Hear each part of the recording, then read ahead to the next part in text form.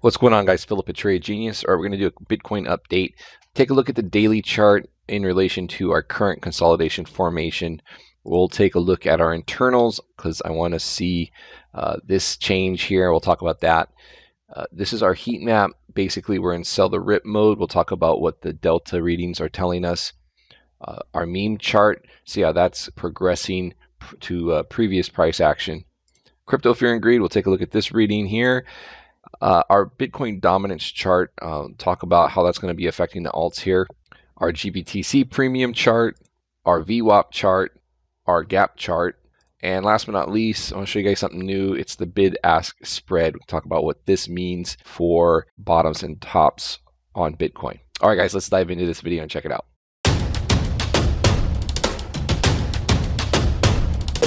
Trade Genius. All right, guys. So on the daily, I'm just going to go over the daily because essentially all the other time frames are just going to show us consolidation, uh, and you know, basically we're heading toward this area of support. Again, this shaded bar area, a shaded area here. Uh, that's weekly support, and that goes back um, way back over here, uh, April 2018. On the weekly chart, that that bar there was kind of a last stand before rolling over. So usually those those spots will give us um, support down the line, which is what's been happening here. We've essentially every time we've dipped down into that level, uh, we've had buyers come in, and we really have not seen a daily close below that level. So uh, it looks like we're going to be heading toward this area again. Now, coming down to this level, everything's going to get really bearish. I will be interested to see what the crypto fear and greed index reads when we get down here because I think a lot of people are going to say that's just one too many touches and we're going to break down and go lower, possibly filling that gap uh, closed at the 8505 area. And we'll look at that chart as well later. But, uh, you know, that's where a lot of times you'll see things shift and then you know like for example the bitmex funding will go short and actually that's going to be a bullish thing so uh, you know keep an eye on this level as we head down as far as you know, this week, price action wise, as you'll see, we're kind of in the short mode. So uh, until uh, price action proves otherwise, and we'll talk about that, especially on the VWAP chart, the levels to look for. Uh, we're going to be looking for um, basically lower prices, and ideally, if we get down to this uh, 95 $9,600 level, I'd be looking to take a, a good risk reward long position at that point. This is our internal chart, and this graph here is the BitMEX funding. So this means that majority are position long. Uh, what I don't like about this, especially when we get into these uh, consolidation type environments, is that a lot of times what will happen is ultimately this positioning gets wrong footed. So you can see here uh, during this price action here, everyone was long, and actually the price started to drift up, but then you have a you know BART type move down, which gets all these guys to stop out, and they're no longer really long, and the funding goes flat or goes short. Uh, because funding didn't really um, flip short here, I'm not really that bullish yet because as long as the funding is positive right now, I think there's still a risk for another one of these type moves down. So that would be one of the key things I'd look for is this funding to flip uh, to the short side down, like over here. And I think that would green light us to catch a bounce up into that upper trend line area up here, which currently is around uh, the 10,400 area. All right, flipping to the heat map. Right now we are in uh, pink shading, so that means you're basically wanting to sell the rips. So anytime you get a pop back above these moving averages, you would look to fade those. You already had one of those moves here. Well, this last spike up to a high of 10,297, which was shorted. Delta is coming down into a support and resistance line here at 60. And if that gives away the next area to look for a bounce would be at the 30 level for the delta. So this is telling us expect more downside. And if we do get a decent move down to 9400, I would keep an eye on this 30 level. If that does not hold and we get a dip down to the zero level, those historically are very good levels to be buying dips on, like we saw here and here, which is this area. And in this area, those sub-zero readings are really, really good spot to go long. All right, this is our meme chart. So this basically is looking at previous price action. This is on a four-day chart versus current price action down here, which is a two-day chart. So it's like a two to four-day ratio. And the reason for that is things are speeding up in the current cycle. So I've overlaid price action from this chart down here. And as you can see, we, we should expect consolidation, and that's what we were entering into. And we said that would be par for the course as we get into uh, fourth quarter.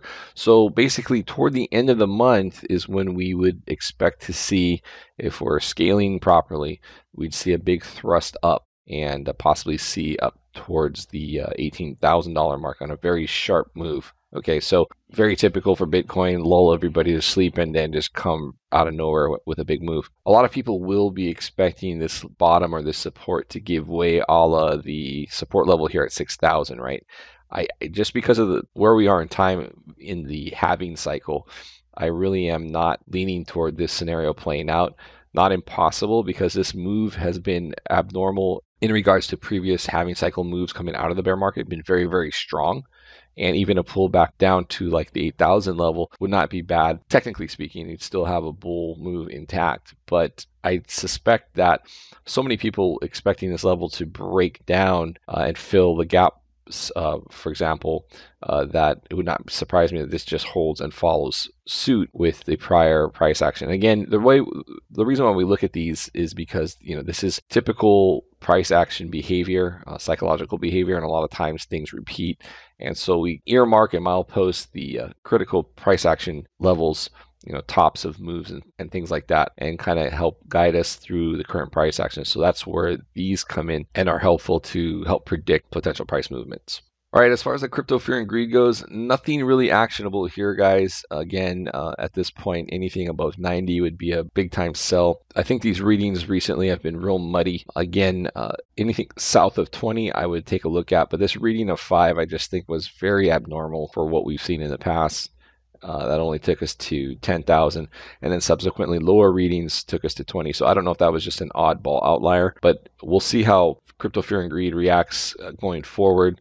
So just keeping an eye on that. If we get down to like that lower trend line, uh, let's say down here, and then we see crypto fear and greed do a typical move like what we see here with uh, readings below 20 down to 16, I would say that maybe things have synced back up, and that is about what we would expect to see. But readings of five would be a, you know, we'd have to, you know, for that, you, normally you would see a big time crash down. I mean, even when we broke through 6,000, uh, and things like that. You got a fear and greed index of nine, so very out, very strange reading on five. Just just going back to ten thousand.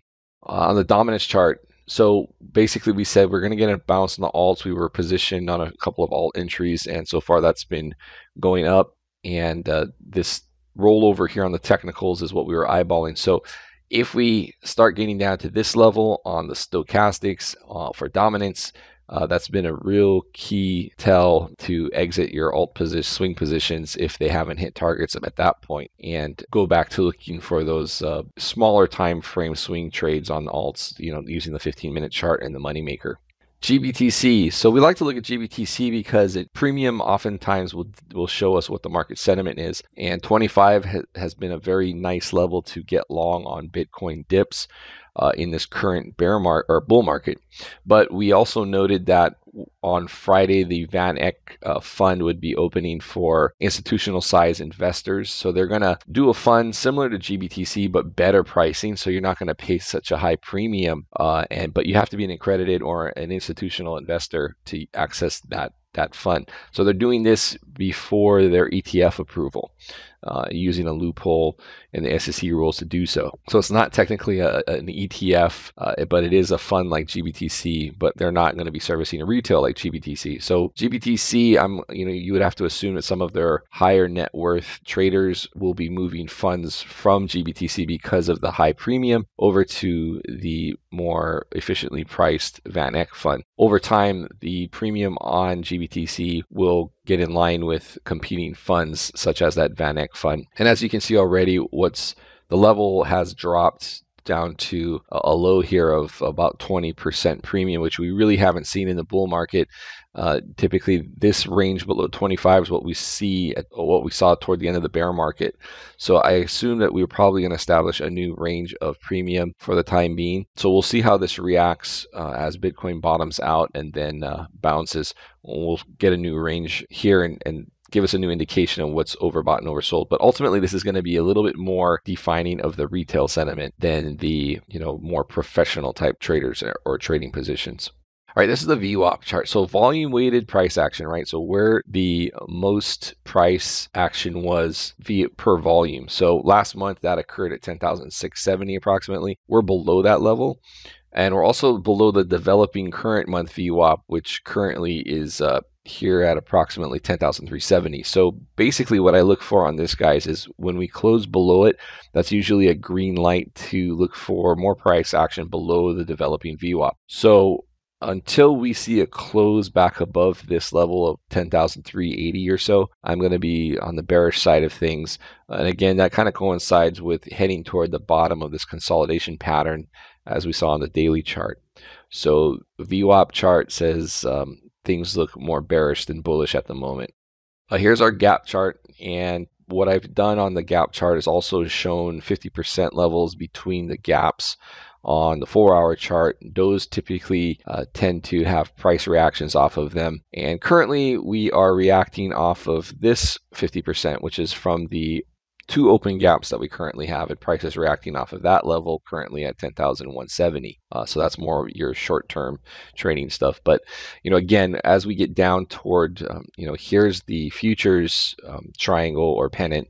And as we get toward the bottom of this, again, you're going to see bearish sentiment um, kick up. I think that's a good risk reward. You can have a tight stop and uh, let let a little bottom form here and put your stop below that and that's effective on either futures or the spot price of bitcoin but i think that's a good risk reward area and then look for another bounce up toward this trend line and then see where we are in the month uh, again as we head toward that last week of the month in september. I'm expecting volatility to kick back up Okay, the last one on this is the bid ask spread. So basically, what this does is this takes an aggregate of all of the bid ask spread. So the how wide is the distance between the bid and the ask on the price ladder at the exchanges, and kind of gives you an average. So when those when those readings get really low or really high, that oftentimes will give you a nice decent turning point in the market of Bitcoin. Now this one is um, kind of upside down. So basically, if you have a low reading, like say below 0.2 percent, um, that's actually a sell indication. Okay, if it's low and if it's high, um, you know, north of 0.4 or 0.5, this is actually an indication to buy. So reading up here is a buy, uh, reading down here is a sell.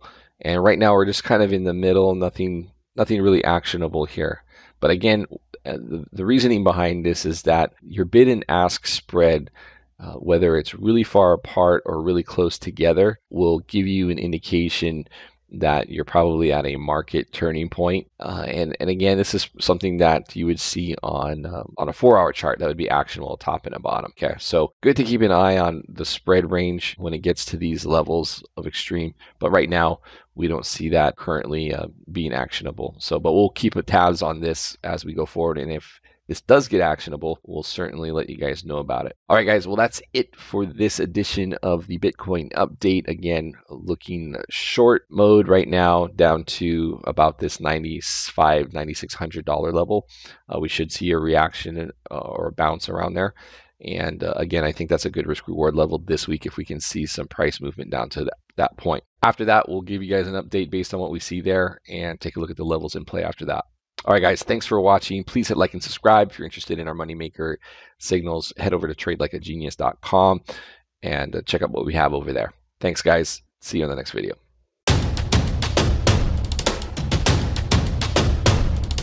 Trade Genius.